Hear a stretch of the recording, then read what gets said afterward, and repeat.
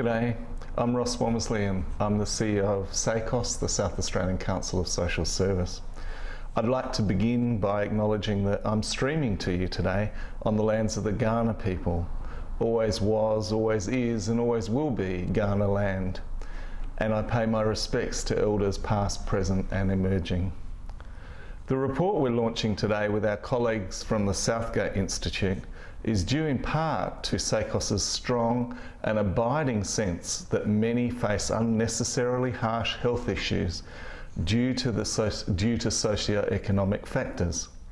Not everyone will be aware of the correlations of poor health outcomes with unstable income, but the SA, The Heaps Unfair State report, highlights this with precision and from new statistical research. It's of utmost importance that we investigate not only how health inequities impact on those who are missing out on adequate health care, but how unequal health outcomes are an integrated system of economic, government, education and housing challenges.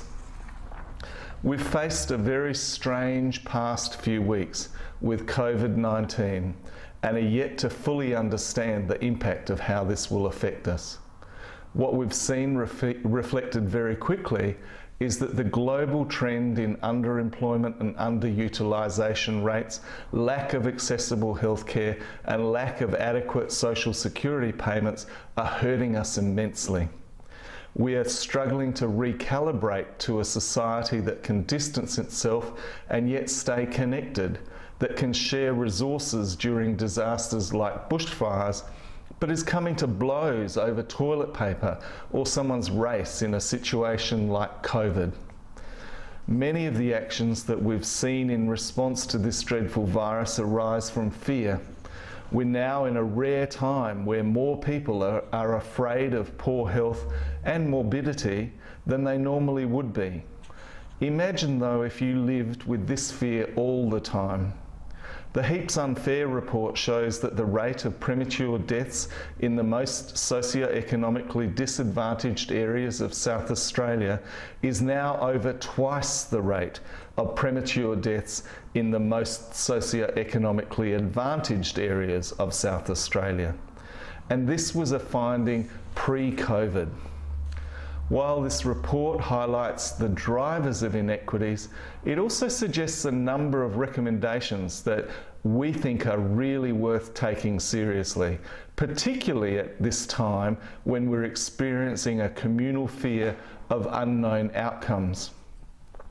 Firstly, to achieve any of these better outcomes, our South Australian government has to have the money available to invest in the vital services that we require and need as a community.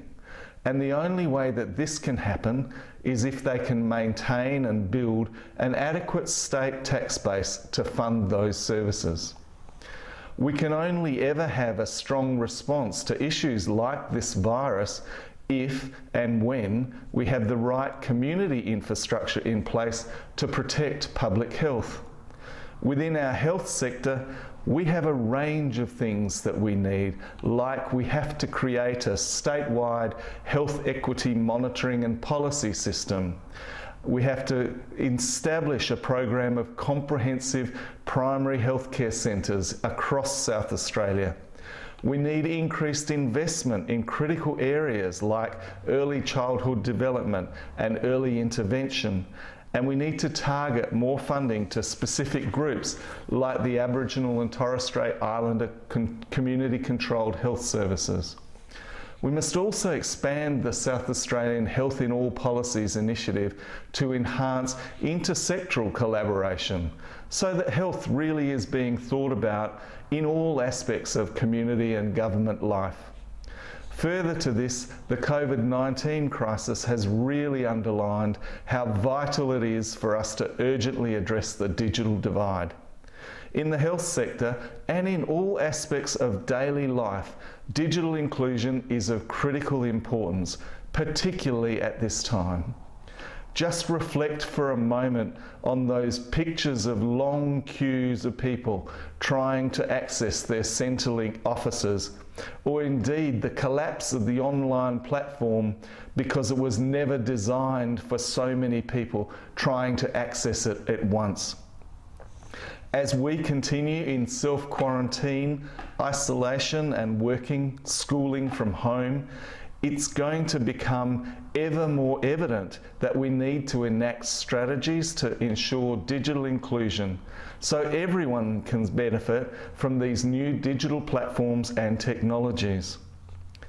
As well as being connected online, households need to remain connected to essential services. Our energy companies and governments must do better to support waged poor households, tenants, and other people living in vulnerable circumstances. The needs of low income households should be prioritised as, as highly as any other household. Instead of focusing on the economy from a simple profit and loss point of view, we need to consider the economy of social justice and what this adds to us as a people and as a community. It's time to introduce a concept of a wellness budget, to adopt alternative ways to measure South Australia's progress, and to ensure that social infrastructure is afforded just as much importance as physical infrastructure.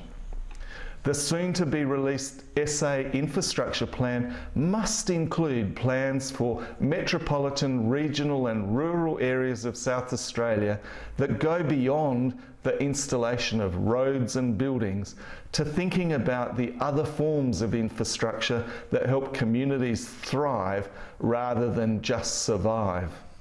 We have to make renewed investments in well located, energy efficient, and affordable housing.